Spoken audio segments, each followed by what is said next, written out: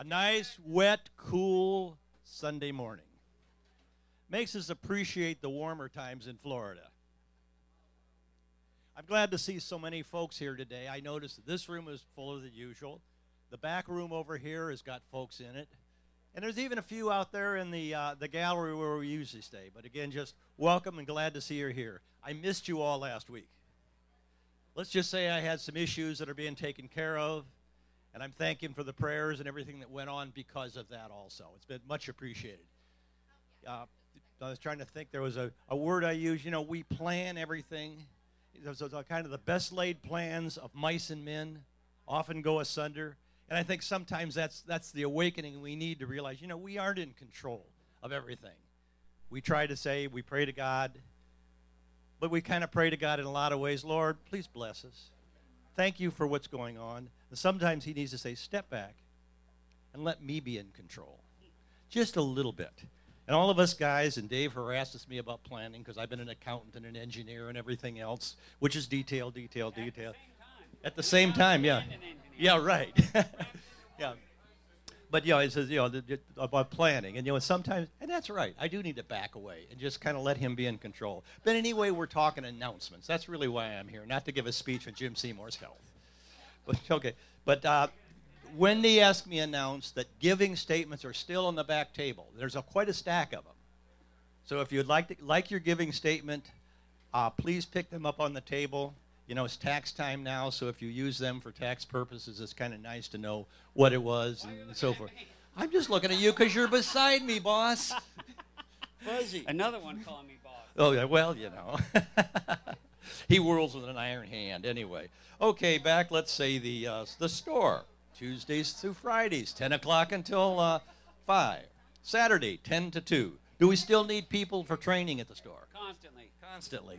So, you know, if you have an interest, you know, you said, uh, I don't think, see the note here today, but we, Mondays and Thursdays we have training sessions, and we want to get people up to speed, make them comfortable, and doing it. You're raising your hand.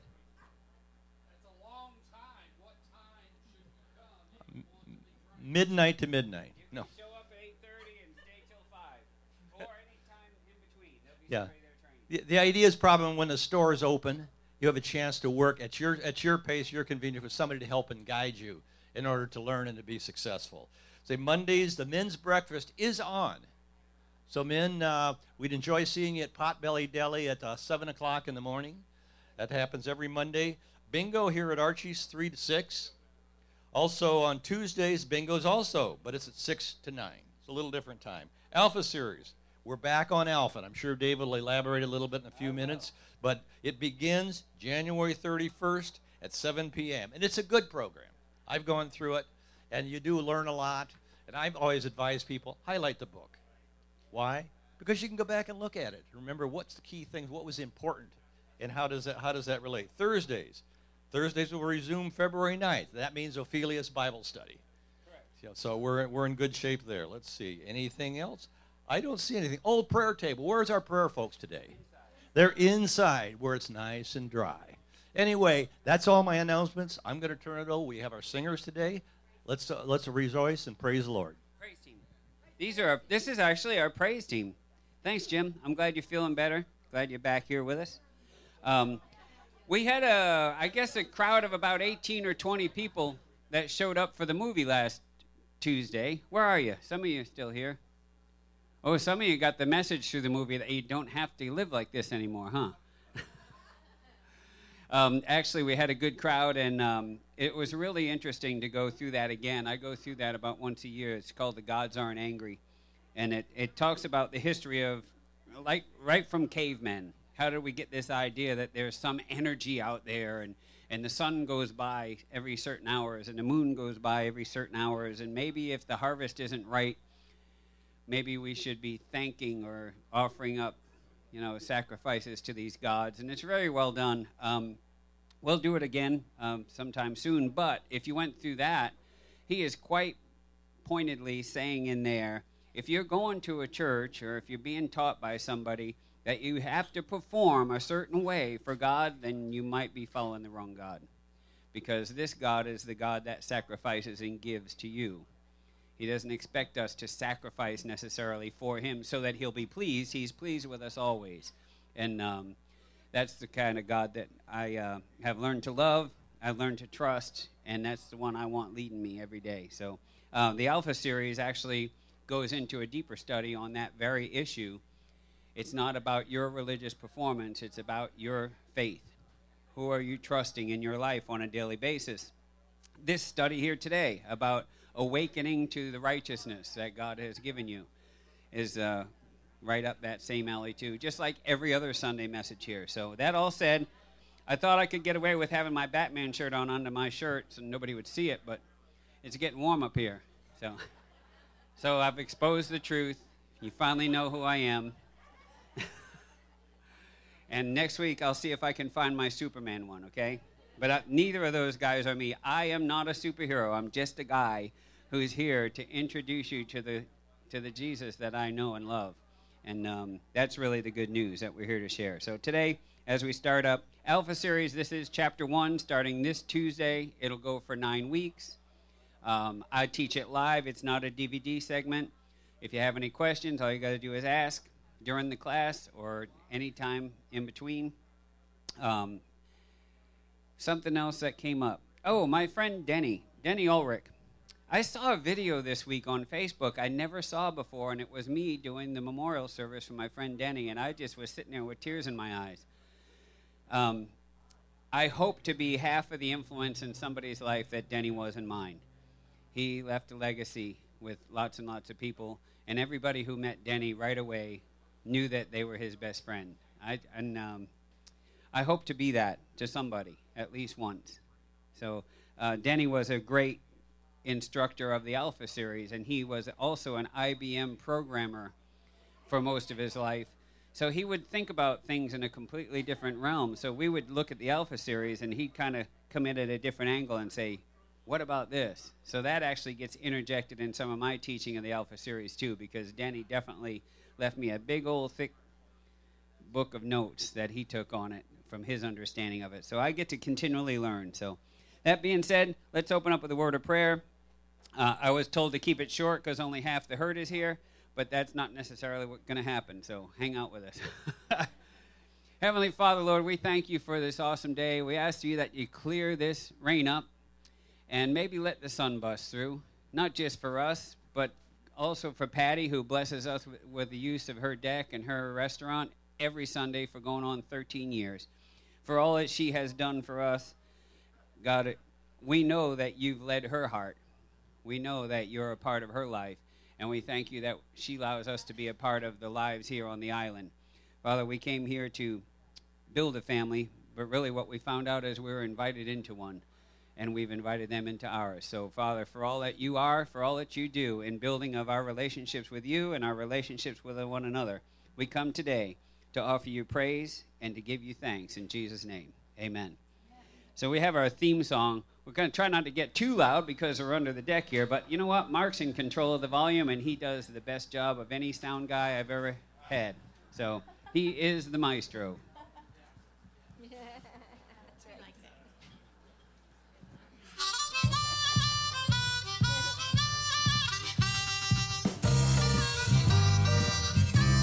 And you're allowed to tap your feet at church, by the way. You know, David danced naked in the street. Don't picture it. Not this David. We're gonna gather here at heart. She's gonna get down on her knees. We'll give the thanks to Jesus, cause it's meeting all our needs. We're gonna gather here at Archie Sundays and lift the Lord on high.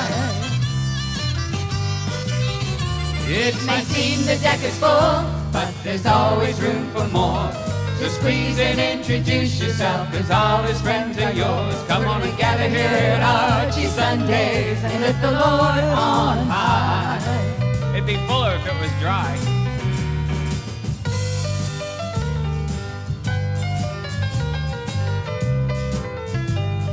By the way, while we're on this break, if you think about it, next week when it's sunny, bring a folding chair so you can get a good seat. We were packed last weekend.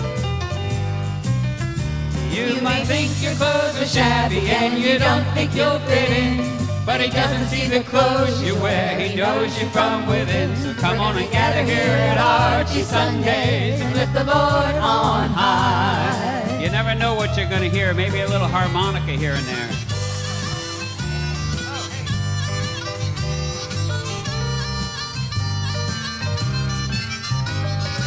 I don't know, I think that's a big harmonica.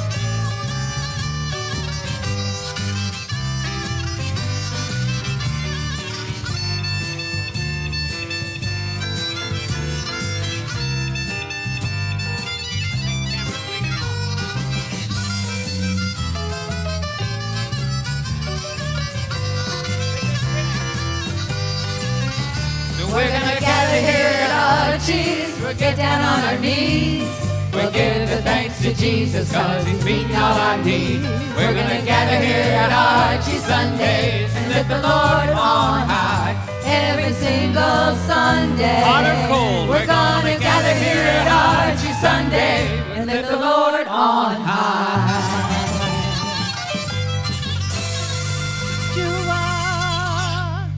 I think I had too much coffee. What do you think? I better cancel my coffee order for next Sunday.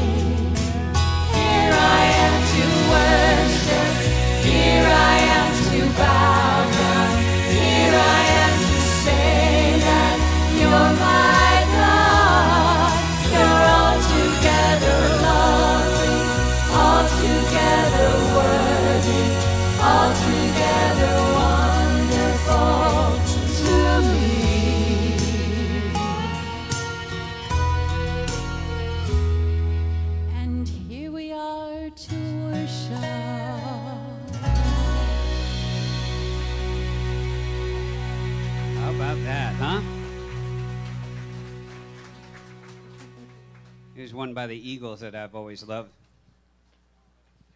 It's a mess out there in the world today, ain't it? No, not a political statement, just a reality statement.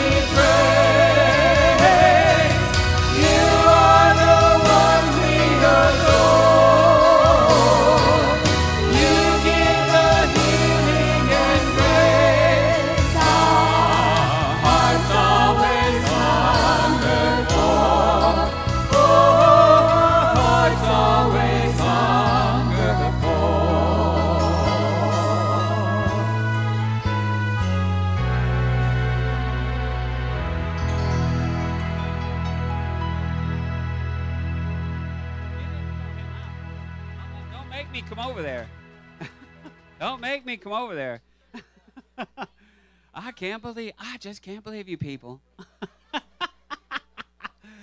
He's very determined to be on his own. All right. Man, here comes the rain again, falling on my head like a memory. Huh, that's, that should be a song, shouldn't it? Yeah. Or are we just pretenders?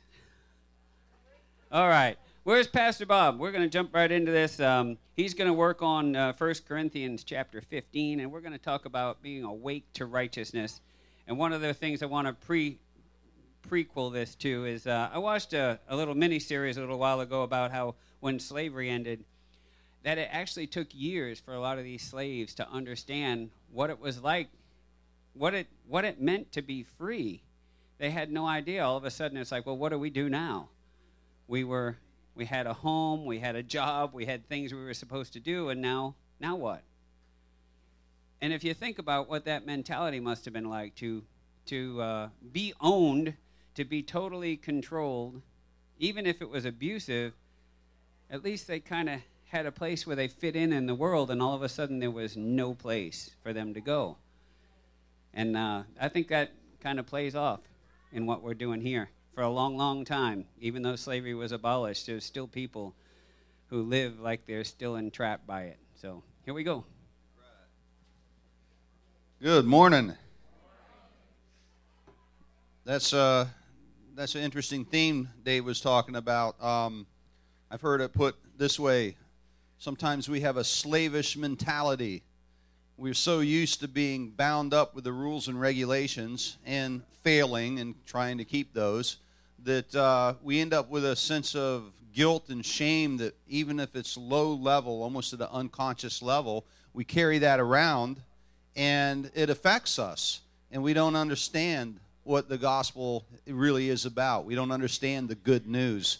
Um, people use this as a weapon You know, they use this to quote verses, some people, unfortunately, to make themselves sound good, right? And to put other people down. And they use it to condemn and to criticize. But we never see Christ doing that, except when he was talking to the Pharisees, because their knowledge of the scriptures they thought made them righteous. And he pointed out that their righteousness doesn't come from the knowledge of the scriptures. Righteousness doesn't come from works, performance. It comes from Jesus Christ setting you free. God giving us the righteousness of Christ. And really, this, this has been considered by many theologians, um, 1 Corinthians chapter 15, to be one of the most important chapters actually in the Bible. So I'm not going to even pretend that we're going to do this justice today, but I recommend going back and reading it and see where else God leads you in your reading of the scriptures. Um, and if you you know have trouble, you know, understanding the King James version, um, you know, there's people out there that tell you that that's the one righteous version from God, that is the King James. But that's not true. I love the King James version, but I use the New King James version. It's much more readable. Um, the NIV, some other translations. It's interesting to compare them and get different contexts. Um, but the truth of the scripture is what's going to set you free. It's God speaking directly into your heart that's going to set you free, not somebody's opinion about which version you're supposed to be reading. Um, that too can be a slavish mentality. In this chapter, Paul gets right to the heart of the matter because in this letter to the Corinthians, these letters we've been reading, he's talked about everything from practical church matters, um, things like how to respectfully do communion, how to relate to one another, how to um, relate to your spouse, relate to your friends, um, everything from immorality and sexual immorality to all kinds of stuff, right? Now he's getting to deeper spiritual issues. And he starts out, he says, More, Moreover, brethren, I declare to you the gospel which I preached to you, which you also received, and in which you stand. Now, he's gotten real with them. He's busted them on a lot of misbehavior, but he never, he hasn't questioned their salvation. He's saying, You stand in this gospel. This is the gospel this is the good news that saved you. He says, by which you also also you are saved if you hold fast the word which I preached to you, unless you believed in vain. For I delivered to you first of all that which I also received. And there's an important lesson in this alone. If you haven't received something, there's no way you're going to give that something away. Okay? If you haven't received the freedom and the liberty of the gospel, then of course you're going to resist it. When others, you see others being free, you're going to question it and not fully understand it until God reveals it to you.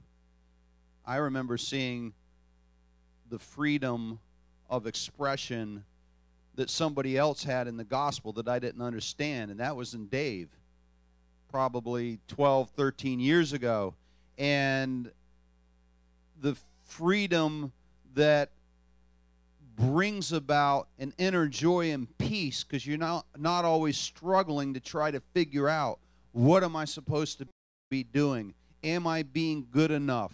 Am I going to like get pushed off into hell because I didn't quite do enough good things and did too many bad things? You know that old balancing scales idea that too many people have that God is going to weigh out the good things you did and and the bad things and then depending on the scales is where you're going to spend eternity, right?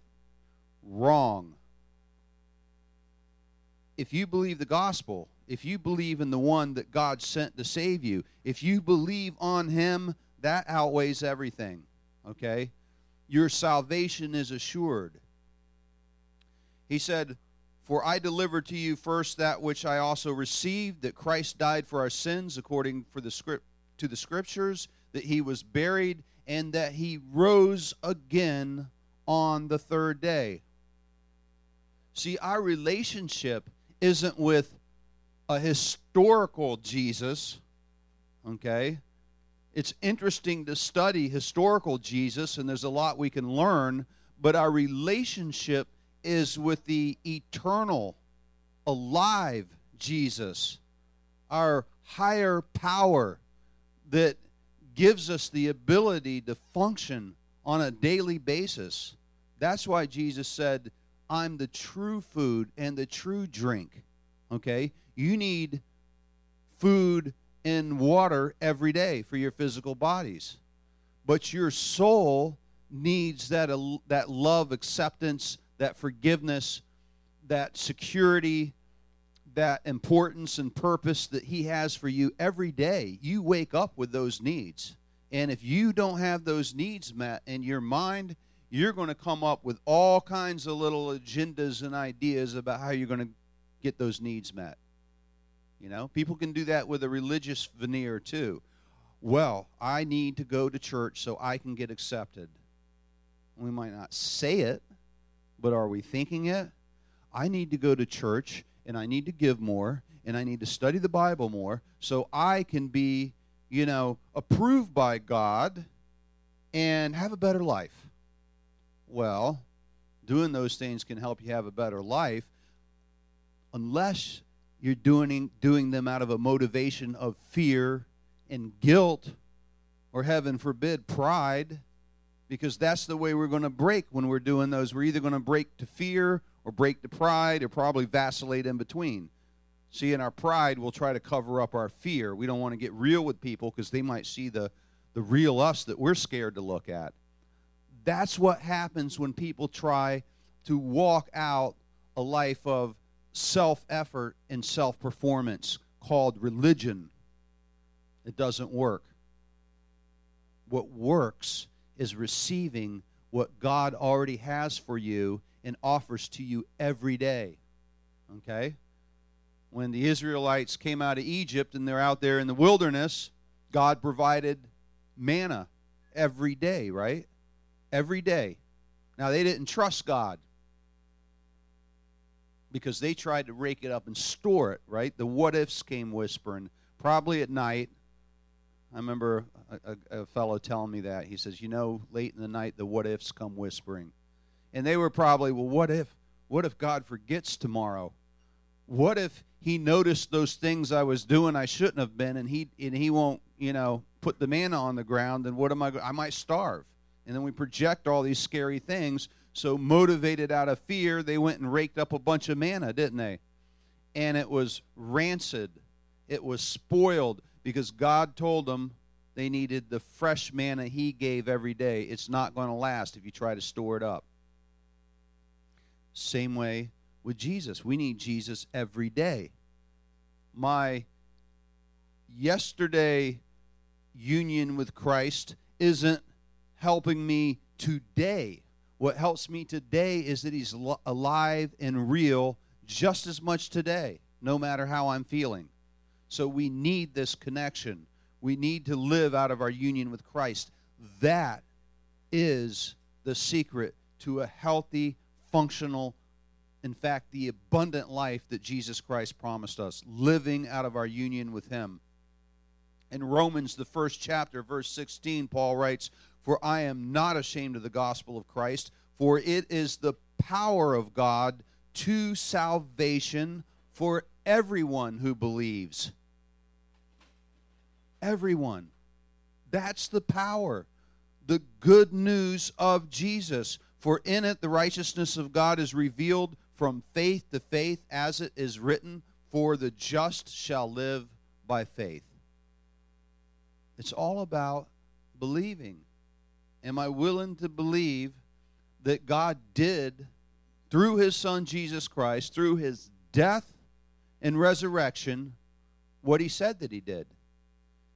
Am I willing to believe that when Jesus hung on the cross and he said, It is finished, that there was nothing left that I have to go make sure it gets done for God so that I can be okay? No, when he said it was finished, he meant that the law was fulfilled. God's sense of justice was served.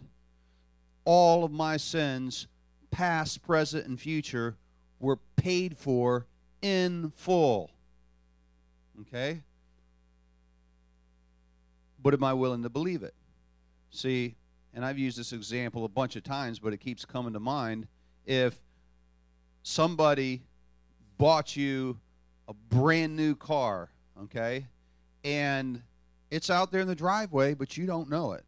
All right? Uh, let's put it the neighbor's driveway around the block so you don't even see it when you go outside. And the keys are on the table, but you don't recognize those keys. So you drive your smoke belching old junker to work back and forth every day, hoping and praying you're going to make it, right? Please help me, God. Please help me, God. Please help me, God, right? The keys are right there. And somebody said, Oh, that's the keys to your new car. And you're like, Yeah, right. And you keep struggling, you know, trying to band aid your junker together. That new car is not doing you any good. None at all until you pick up the keys and believe these are the keys to my new car. I'm going to go get in my new car and I'm going to drive it. Slavish mentality. Too many of us are driving around with junkers, spiritually speaking, right? Jesus is right there. He's got you in the palm of his hand, but we just aren't really willing to believe it. So we're not walking out the gospel. Paul goes on and he describes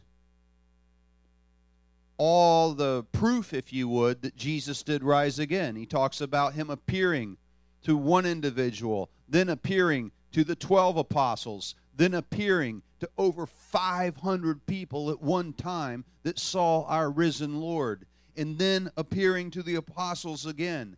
And he says, Last of all, he was seen by me as one born out of due time or born born out of season okay? And what he meant was he wasn't an apostle when jesus was alive. He was a pharisee. He was a religious leader. He didn't believe in jesus. And then when people were testifying that he was alive and risen paul hunted him down when his name was still saul and he said he was there when stephen was being stoned even cheering them on. Kill that guy because he's proclaiming Jesus. And struck down by the light of Jesus Christ.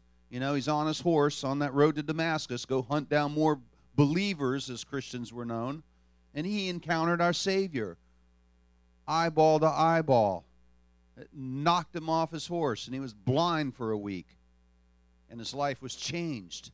That is what an encounter with Jesus Christ, our living Savior, will do. He said, But by the grace of God, I am what I am. And his grace toward me was not in vain, but I labored more abundantly than they all. This isn't false bragging, okay? This is the guy that was beaten with rods because now he's proclaiming Jesus Christ. Beaten with steel rods, whipped chained to a dungeon again and again, mistreated. Every way, he says, Yet not I, but the grace of God which was with me. See, he doesn't take credit for all the things he did, all the churches he planted, taking the message of Christ from Jerusalem out into a very cold, dark, pagan world. People get upset when they look at the world today.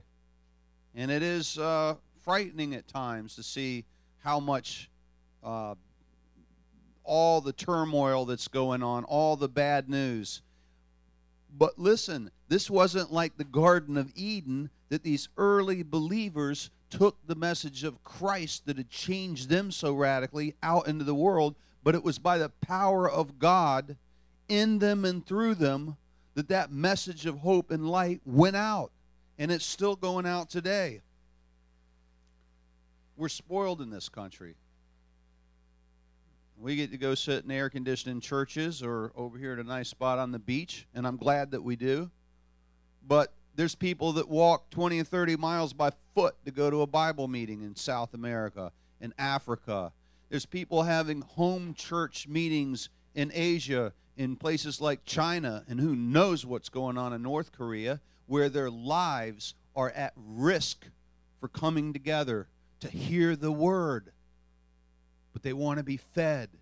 They want the power of the gospel. The news goes out and the truth is attractive. It's funny.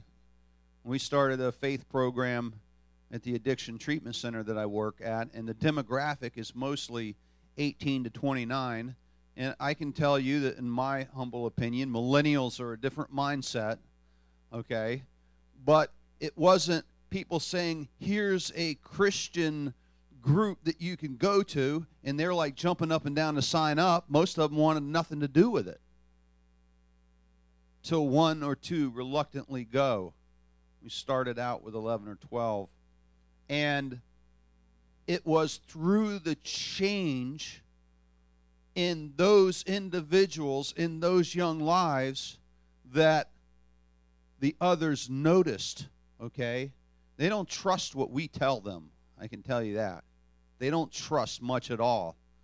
But when they see the difference in the lives of those around them, individuals that might have been throwing chairs around in in mental frustration and acting out in all kinds of inappropriate ways suddenly have a peace about them and there's a joy and there's a light in their eyes and they start showing up in the group that's the power of the gospel that's the power of Jesus Christ. And he doesn't need permission from a pastor or a religious leader on how he's going to run his program of redemption in this world. The best way to, to, to, to work with him is to go along with him, I've found. Don't try to structure everything. Don't put obstacles in front of people. Don't put litmus tests. Don't grill them with, with do you believe this? Do you believe that? And this is how you have to believe. Get out of the way you know what? If you have something to offer them, it's because God is doing something in your life and they sense something different about you. Okay? That's the power of the gospel. Paul says in verse 31, he says, I affirm by the boasting in you which I have in Christ Jesus our Lord, I die daily, dying to self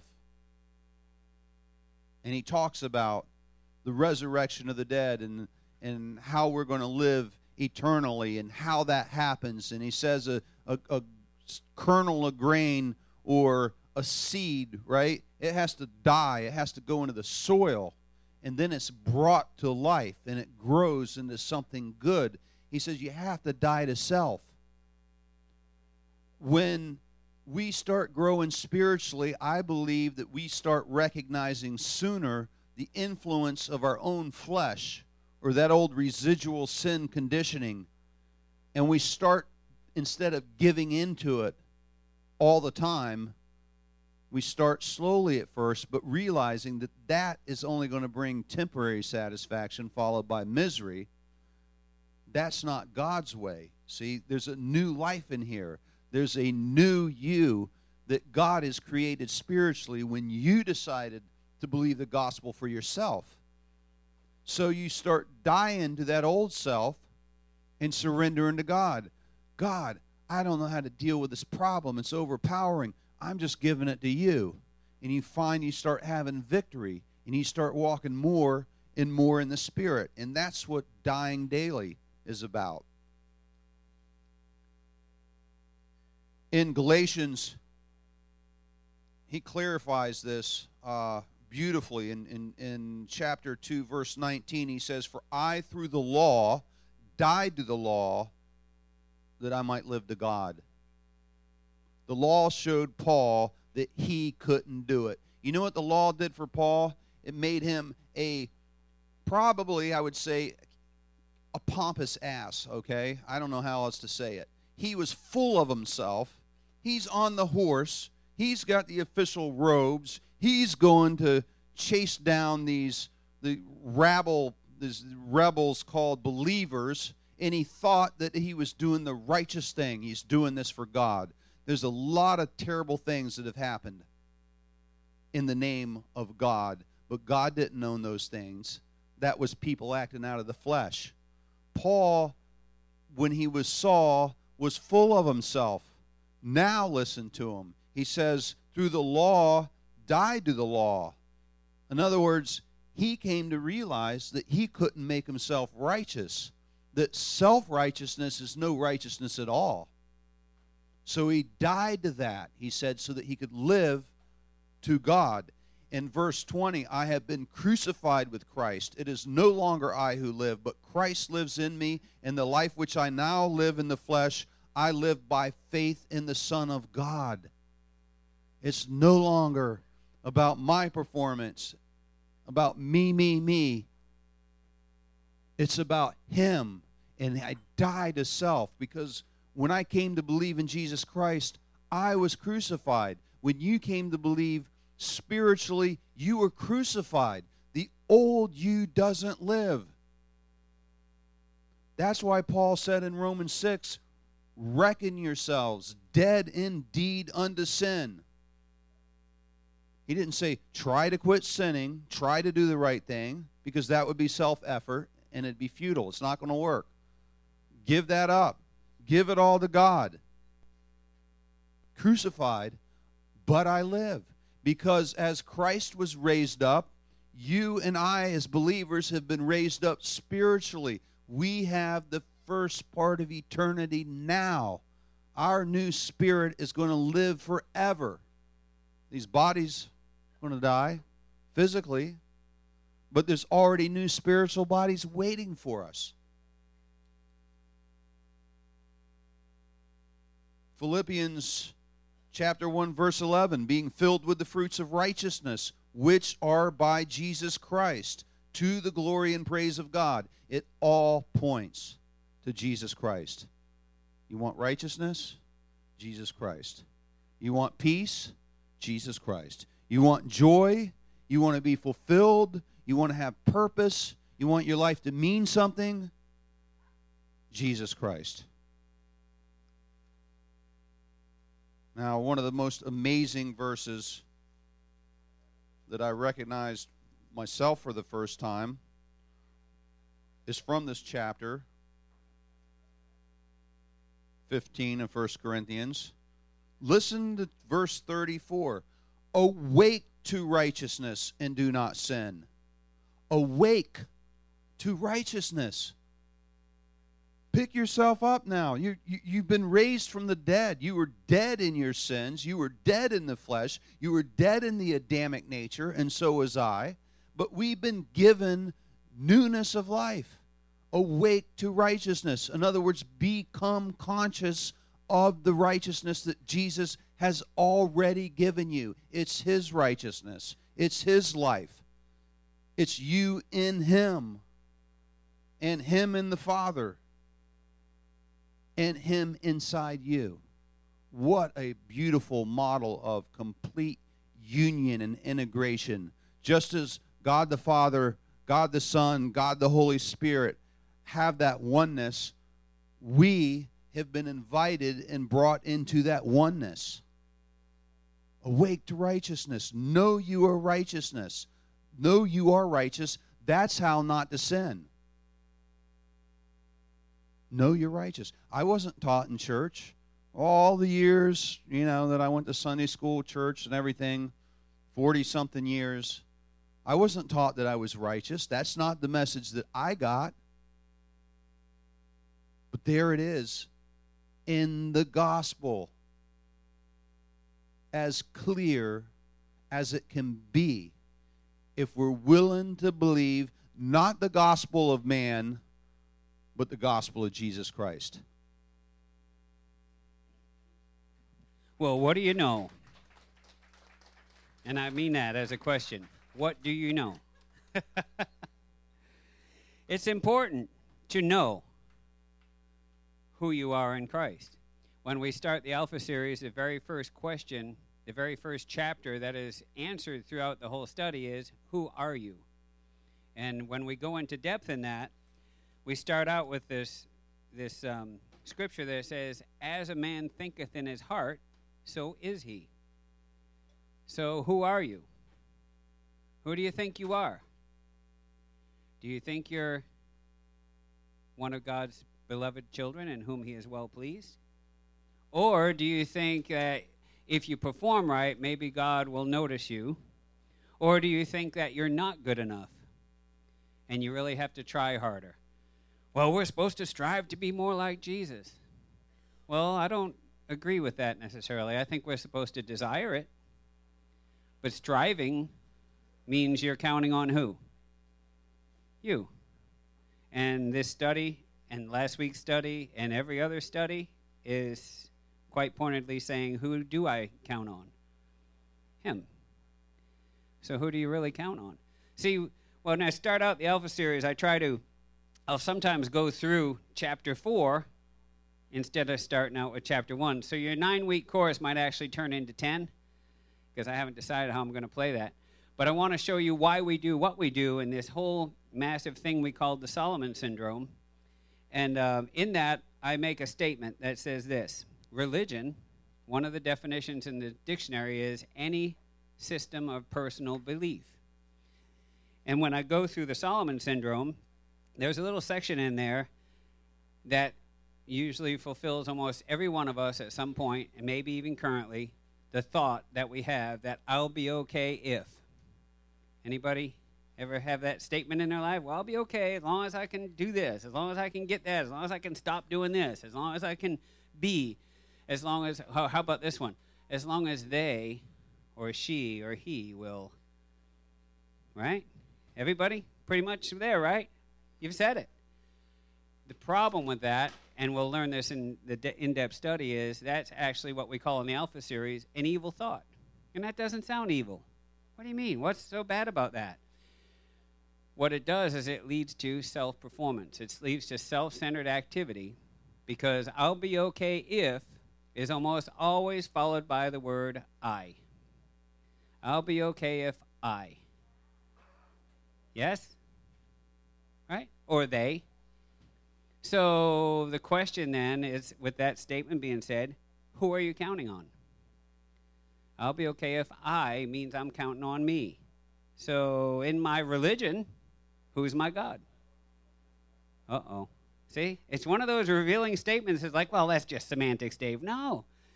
As long as I can do and I can get and I can be and I can count on me, I'm going to be a survivor. And I'm going to exist and I'm going to strive and I'm going to work really hard, but I'm not necessarily going to trust God because I got to do this. And that's really the dividing point, what we're talking about here, being awakened to righteousness. Who are you really? Bob mentioned that um, we're in the palm of his hand. And one of my statements that I wrote in my book, I think, I think it's in the book, I've said it a bunch. In the world, the world says when you get to the end of your rope, what are you supposed to do? Tie a knot and hang on, right? What I've learned in my faith is that's not the answer. God says, let go. And when you let go, you'll find out your feet were dangling about this far off of his hand. He was right there the whole time. And you let go and you go, wow, I never had to worry. He's always been there. Huh. And then try it again and try it again and try it again. And that's how he builds faith. When you let go and you see what God does and how much better he does at it than you, that's how he builds your faith. Yes, you're going to have struggles. Yes, you're going to go through storms. Yes, the rains will come. How are you going to get through them? Well, if I could only. I want you to hear the red flag or the bell. If I can only, if I can, I'll be okay if I. I want you to start hearing when you do that. Well, it'll be okay as long as we can, as long as I can, as long as hear it for what it is and go, wait a minute. What am I trying to accomplish here? Why am I stressing about getting so much done? I think Bob brought it up last week. We're called human beings, not human doings. The B comes about, and Bob mentioned it, how he saw these people in the recovery center. They don't want nothing to do with religion, and so do I. I don't want nothing to do with religion. But when I see a changed life because of genuine faith, all of a sudden you go, huh, what's that guy got going on? What's that girl got going on? What happened over there? And what's happening in the recovery center when they're offering a faith message is they're seeing lives change. I'm imagining that some of these people are probably speaking about their change, but I think mostly they're seeing the change in their being.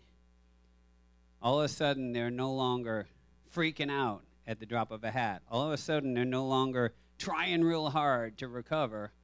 They're going, wait a minute. I've tried and tried and tried and tried and tried, and I can't do it. God help me. And that's when the freedom comes in. God help me. Whew, wow. So let's go through your um, your little list here of blanks that we decided to put in here. It's not about what I do. Now, are you saying that we're not supposed to, you know, serve God? No, I'm not saying that. You're going to serve God out of a genuine heart of love for God. You don't have to do it, but as you get set free, you get to do it. I get to do this for God.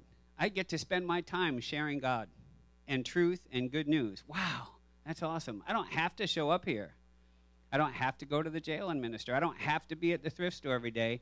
I get to be there so that I can be helping somebody else. I get to be here. I don't have to be here. Sometimes I feel like I have to. I jokingly, you know, hey, if you guys didn't show up today on this rainy day, I could have gone home and stayed in bed. But you know what? I probably wouldn't have. And her too, and half of the staff. They're wishing we weren't here sometimes. I'm kidding. Don't ever get that idea. Um, it's not what I do for him, it's about what Christ has done for me. In that little movie, it was really interesting because up until the point when Jesus showed up, it was sacrifice, sacrifice, sacrifice. And if the crops were really good, then you sacrifice more because you're thankful. And you sacrifice more, and then the next year the crops were bad, and oh my gosh, maybe we didn't sacrifice enough. See, see the the big flaw with the altar was it was always about more. Whether you had more or received less had nothing to do with it. Maybe the gods weren't pleased. Jesus came along and said, I'm going to sacrifice for you so that we can have peace with God. So you can have peace with God. Do I have peace with God? Well, no, I'm trying really hard to have peace with God. I, I have to go to church on Sundays and I have to go do my Bible study and I better pray every morning. Stop. Where is your faith? Who are you? It's, it's the hardest question to answer. Most people, you ask who they are. Well, I was an engineer most of my life, and I'm an accountant. Right, Jim? I'm an accountant. We relate it to what we've done in life. I'm a mom. I'm a dad. Um, uh, depending on the context, if you're at a family reunion, well, you know Uncle Bob? Yeah, well, he's my cousin's sister's brother's kid. See, depending on where you are. Or am I a child of God, in whom he is well pleased? That Jesus would be the firstborn of many brethren and sistren, by the way. Yeah, sistren, that's you guys. Jesus came down to earth for me. He came down, he died on the cross. He was raised up that I might have life in him. No longer me that lives, it's Christ in me. Thank God. You know what my life was like when I ran it? I had this conversation with a guy the other day. He's been in and out of programs, in and out of programs, in and out of programs. So I'm back on the street. As soon as I get out, I started back to my old ways. I blew about X amount of dollars in short order, went through my drug thing, went through my alcohol thing. I'm back to being broke. I'm back on the street. Wow. How'd that happen? Well, one of the ways I do the first three steps is whoever's managed your life up until today has got you right where you're standing. How's that guy doing? This, go, this guy didn't want to hear it. Yeah, yeah, yeah, I know, I know. Well, no, you don't know. Listen to what I'm telling you. Is it time to fire the manager who has got you where you are? Well, I just I know what I got to do. All right then. Have a nice day cuz there's no there's nowhere you can go from there. If you got this, you got this. You're still doing it the same way. You're doing it twice as hard, getting twice the results and wondering why. I get it, but you know what? It's okay. Jesus, while he was on the face of this earth, didn't heal everybody. He had a goal. There's more people over there Jesus need healing. Yeah, I understand. I'm on my way to Jerusalem. I got a job to do. So he did his job. Some people he walked away from. Sad but true. Some people walked away from him because they were rich and didn't have an interest in giving control over to God. It's okay. It's okay if nobody accepts your witness. That's a hard thing for some of us to hear. It's okay. You ever offer somebody caviar who didn't like it? I have. They don't like it. Oh, but this is different. You got it because I'm giving it this time. No, I don't like caviar. I'm not even going to try it. Yeah, but, and you could try and try and try to convince them. It's okay. Walk away. If you're offering Jesus, it's okay if they say no. It is. But then I don't get that little check mark on my scorecard. Well, who's keeping score? Leave it up to God. God can handle that one. I promise you. Look what he did with this mess. Jesus declared the good news. What is the good news? If you don't turn, you're going to burn in hell. No, that ain't that's not good news. You better straighten up. Or well, have you how have you heard it? Or God's going to send you to hell. God's going to hit you with a bolt of lightning. Oh, God ain't going to be happy with you. Where does that come from? I had somebody with their kids tell me, You better straighten up or Pastor Dave's going to be mad. Don't you use me as manipulative leverage for your children. If you can't be an adult and straighten them out, don't put me in there. I ain't the guy. I'm really clear on that boundary, by the way. and don't let me do it with your wife or husband either. My, my wife doing this, and you need to go talk with her. No, I don't think I do. I'll help you, but you got to show up together. We're all going to lay this on the table, okay? Get honest. Let's see what's really going on. Oh, wait, wait never mind. We don't want an appointment. Because you might find out what's going on. See, I was that guy. That's how I know. Back in the day, Paula and I and her, her daughter, oh man, I got so embarrassed because we went to, we went over to an alpha training, all three of us, and it was for teens. And I'm like, yeah, she's gonna get it. She's gonna start to understand, you know. And don't you know, about halfway through the day, they took the adults in one side, they took the children in the other, and she started telling on me. Yeah. And I'm like, oh my goodness. You want to know how somebody's living out their faith? Ask the people who live with them because I was horrible at it. But you know what? It's what I needed. I needed to hear the truth. And she was afraid to come to us because I was an ogre. But when she felt like she was safe with other kids, and a couple of them leadership people from that weekend come on and said, Dave, you and me got to have a talk, son. Uh oh, I'm in trouble.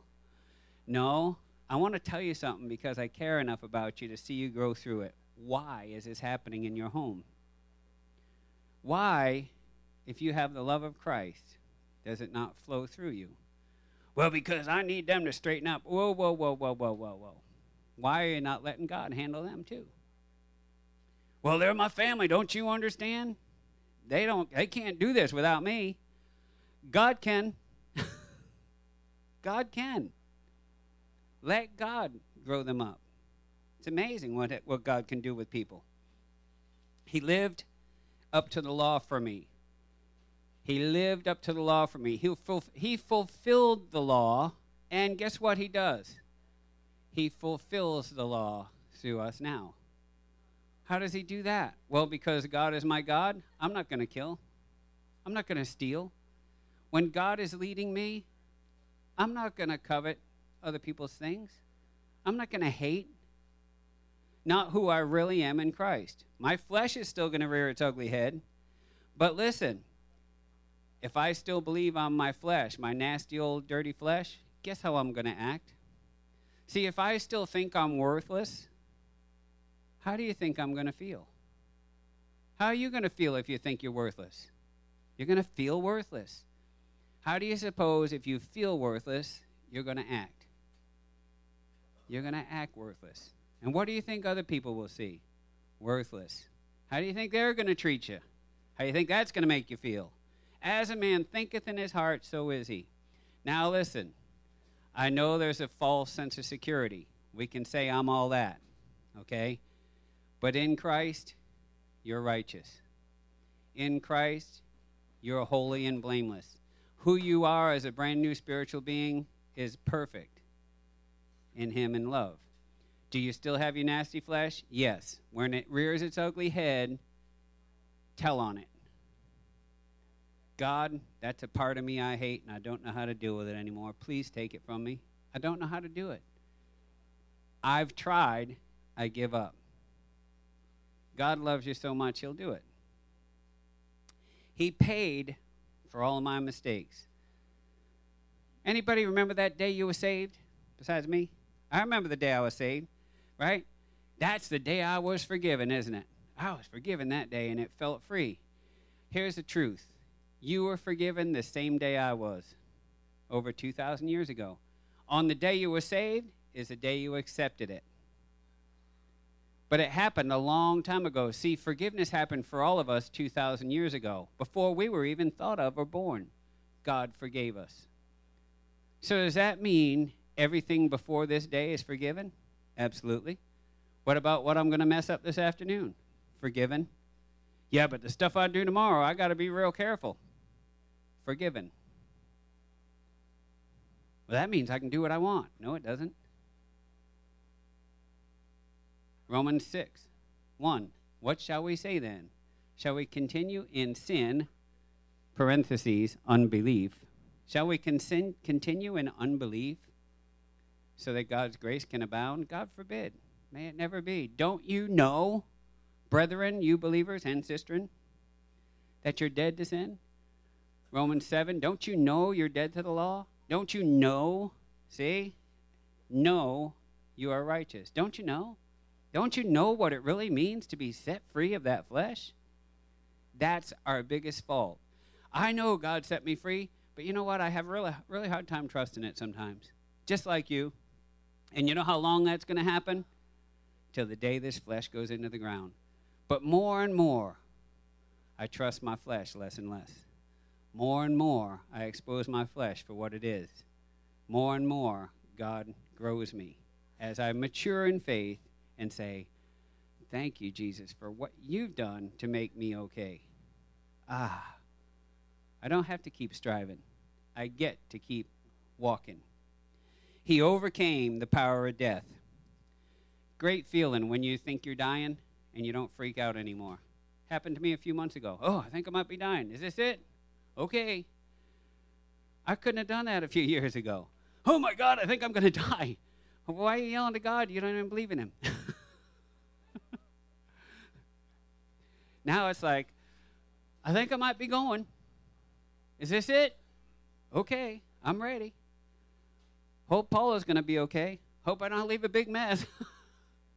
and that's enough, right? Hey, you watch it. don't make me come back there because I got a cordless mic.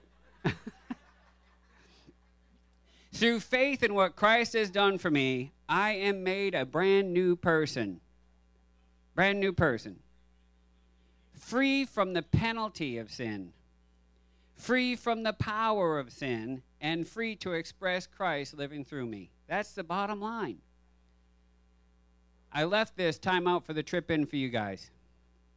Have I realized what it means to be free in Christ? Or am I still striving every day? Am I still performing, hoping that God will notice me? He noticed you a long time ago. What is it like to be the person who believes they're still trapped in slavery, even though slavery was abolished a long time ago? Your slavery was abolished when Christ died on the cross and when he was resurrected. And, he's, and here's when it started to change is when you accepted the forgiveness on that day and you said, okay, I accept this Christ thing. The problem is we go to, now what do I got to do?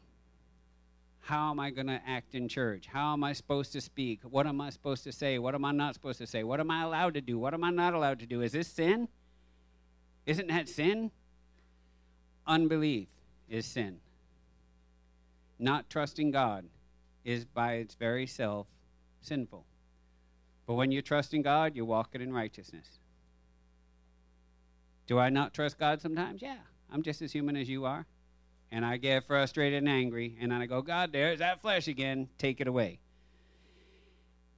Have I had to earn my freedom, or is it a gift?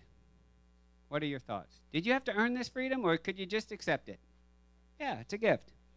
So the last statement is more of a prayer. Today, Lord, I ask you to show me and remind me what it is to be free indeed. Free indeed. There's a joke that John Glenn and John Hales used to do in one of their classes. See, there's dead, and, and Romans it says, count yourself to be dead indeed. Dead indeed, okay? So you ever go driving down the road and you see, looks like a piece of an old tire, but it's gray, little armadillo, right? Laying on the side of the road and he's curled up and he's he's dead. Is he dead? He's dead, right? But you ever go past one of them places on the road where it's, I mean, it just looks like a stain. It's a spot, road pizza, right? That's dead indeed. Count yourself to be dead indeed unto sin and trespasses and alive unto Christ. See, that, that puppy is not coming back to life. You're dead indeed. See it? I thought it was a great. It's a little disgusting, but that's the way them rednecks are, you know, out there in Okeechobee. They, there's a lot of dead indeed stuff on the highway between here and there. So as we end up today, I know that Sally and, and Gail Dawn inside going to offer communion right around the corner. We try to offer communion every week. I think we do a good job of it. Um, but really, here's the reality of communion stay in communication with God.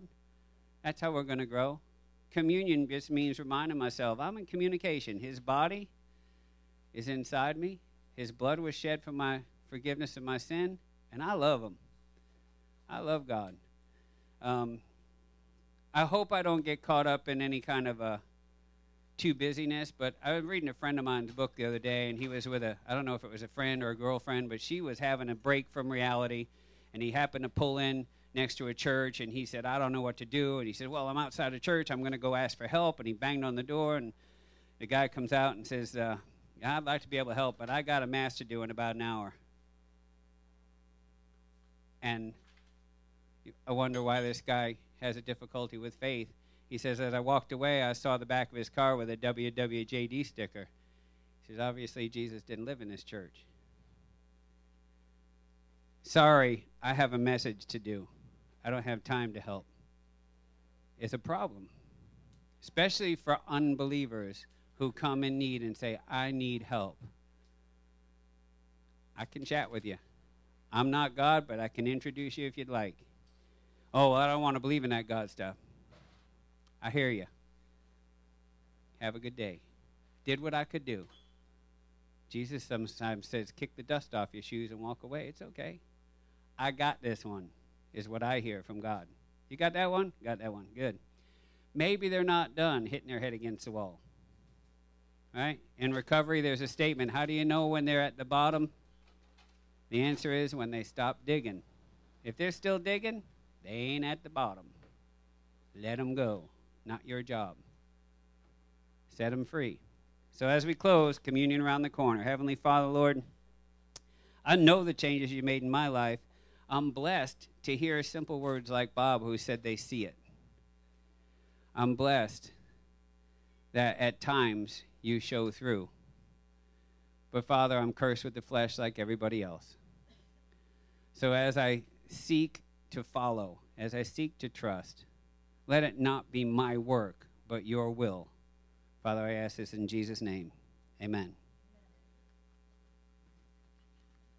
closing on a couple songs. We're going to go out with a Sam and Dave favorite. So if you like Sam and Dave, don't go away. How's that for a little bait?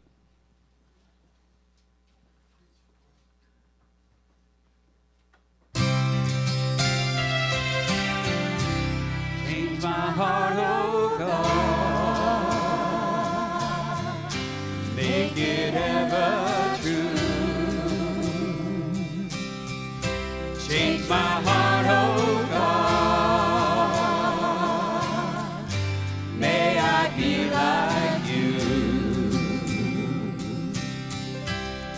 My heart, oh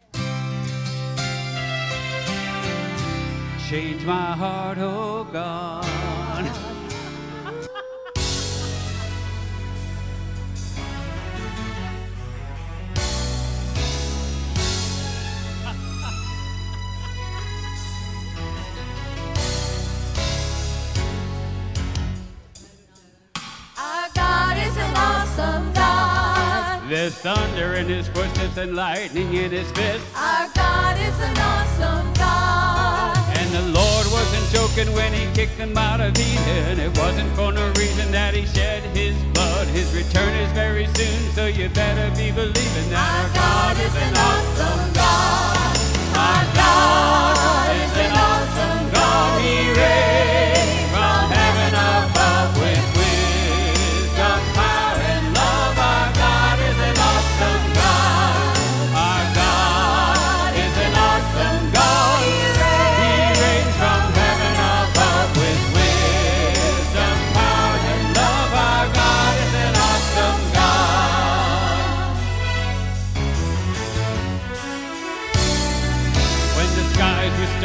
starless in the void of the night, Our God is an awesome God. He spoke into the darkness and created the light. Our God is an awesome God.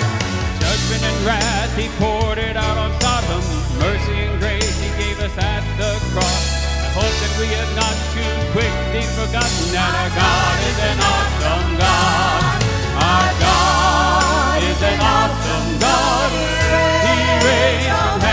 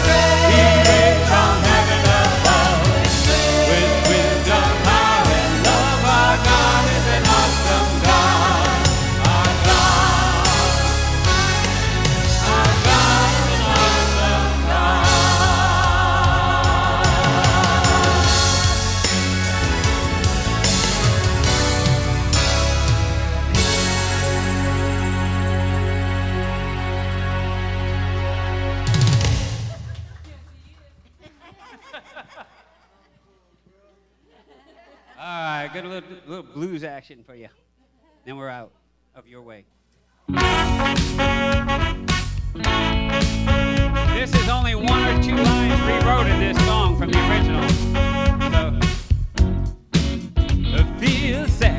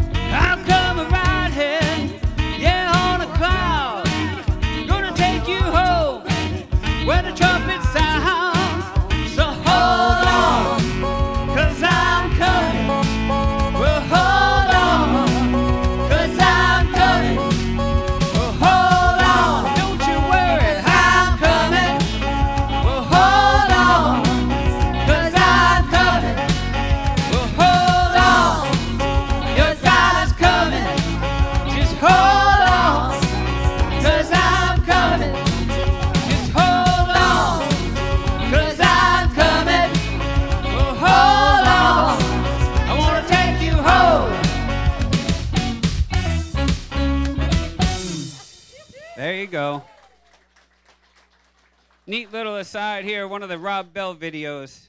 He just keeps whispering to his son as he's walking home in the rain. It's okay. Dad loves you. He knows the way home. He's going to get you there safe. Trust God. He'll make it. God bless you. Have a great Sunday. And uh, as far as I know, I'm keeping watching this because we're playing On the Edge therapy from 1 to 5 today. And I haven't got a cancellation notice yet. Wait a minute. New text. Let's see what happens. Oh, oh. There it is. Sorry, folks. We are canceled. We're canceled. Sorry. So we missed that. That means I get to go catch up on some other work I got to do. God bless you. No, no, no. Next, this afternoon's canceled on the edge. Got rained out.